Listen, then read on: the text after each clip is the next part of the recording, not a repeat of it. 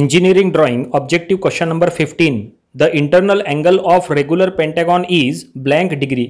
First option दिया है 72 second option दिया है 108 थर्ड ऑप्शन दिया है 120 फोर्थ ऑप्शन दिया है 150 तो क्वेश्चन में ये पूछा है कि रेगुलर पेंटागन में इंटरनल एंगल इट मींस अंदर का एंगल कितने डिग्री का होता है?